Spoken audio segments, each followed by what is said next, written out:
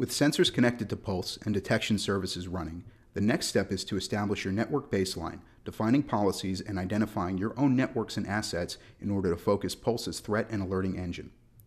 The first step in establishing your baseline is to define access point policies.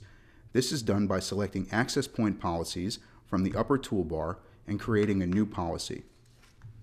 Enter the name for the policy, in this case my Pwnie corporate policy, select the corporate status of the network, corporate, and following the wizard.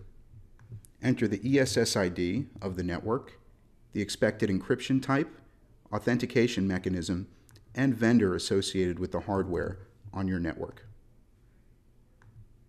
Click Submit and see a list of matches for review. You can approve one at a time, or you can approve all matches at once.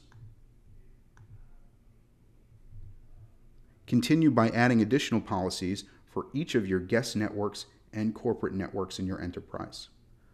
Pulse will now identify devices authenticating to your corporate network as corporate devices and track subsequent connections in order to identify risky behavior. The next step in establishing your baseline is the tagging of trust levels of individual assets. This can be done by connecting directly to your Active Directory server if available, providing a bulk import list, or manually setting the trust levels in Pulse.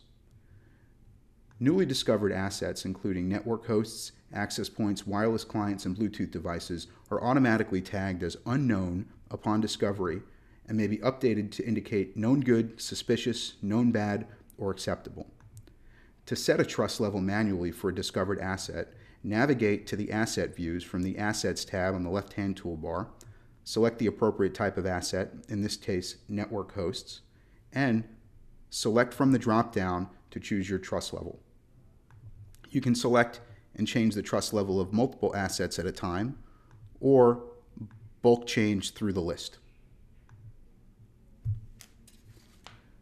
Additionally, for an individual asset, host names will be automatically discovered from a local DNS server, and friendly names can be annotated to indicate the usage or additional information of that particular host.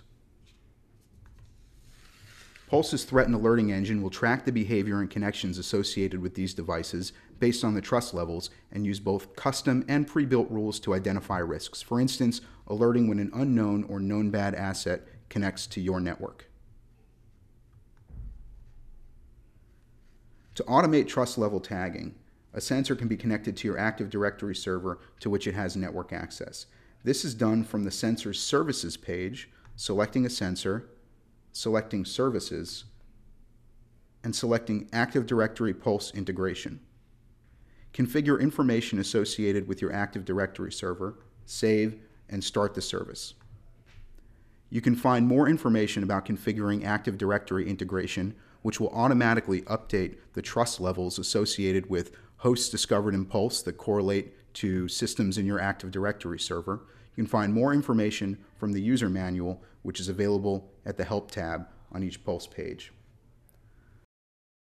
Following these steps, Pulse will continue to establish the baseline of your own networks and systems in order to reduce risk by identifying threats from malicious, misconfigured, and unauthorized devices.